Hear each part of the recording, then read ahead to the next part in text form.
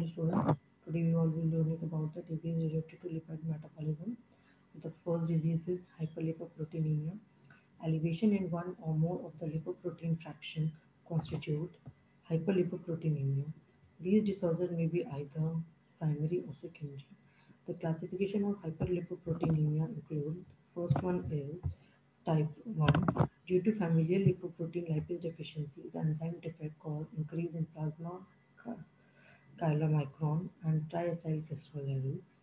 Type 2 include, which is also known as hyper-beta-lipoproteinemia and is caused by a defect in LDL receptors.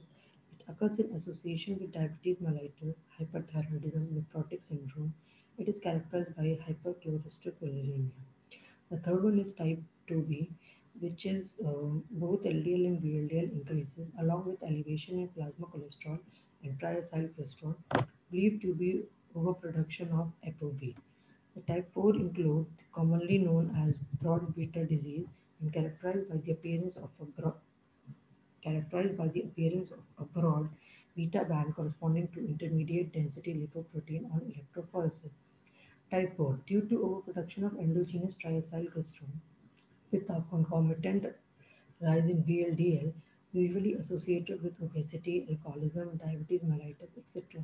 And the last type which is type 5, both chylomicron and VLDL are elevated, mostly secondary condition due to disorders such as obesity, diabetes, and excessive alcohol consumption.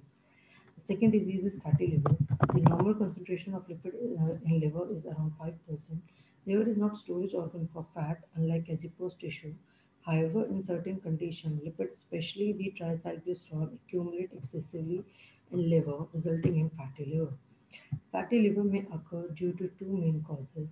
First one is increased synthesis of triacylglycerol. Second one is impairment in lipoprotein synthesis. The fatty liver caused by impaired lipoprotein synthesis uh, due to first one is a defect in phospholipid synthesis. Second one, a block in apoprotein formation.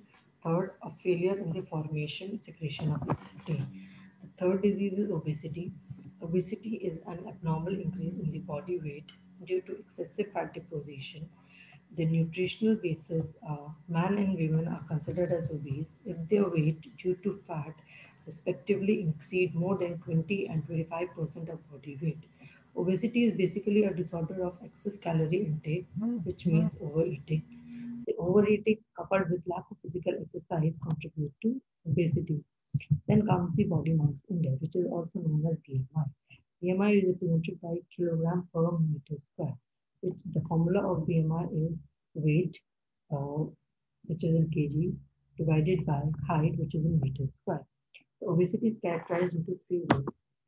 Grade 1 or overweight, BMI is 25 to 30 kilogram per meter square. Grade 2 or clinical obesity, BMI greater than 30 kilogram per meter square. Grade 3, morbid, morbid obesity, BMI more than 40 kilogram per meter square. It is associated with many health complications. Example given, type 2 diabetes, CHD, uh, hypertension, stroke, arthritis, gallbladder disease. The next disease is atherosclerosis. It is a complex disease characterized by thickening or hardening of arteries due to accumulation of lipids, collagen, fibrous tissue, proteoglycans, calcium deposits, etc. in the inner arterial wall. It is a progressive disorder that narrows and ultimately blocks the arteries. Coronary arteries supplies blood to the heart, most commonly affected. The last disease is alcohol volume, in which a scientist named Walker had said that alcohol can be a food, a drug, or a poison, depending on the dose. Alcohol is readily absorbed by the stomach and intestine Alcohol gets oxidized in the liver by alcoholic dehydrogenase to acetaldehyde. The reaction is shown below. The alcohol, in the presence of alcohol dehydrogenase, uh, converts itself into acetaldehyde and NAD2 NADH plus H plus. Thank you.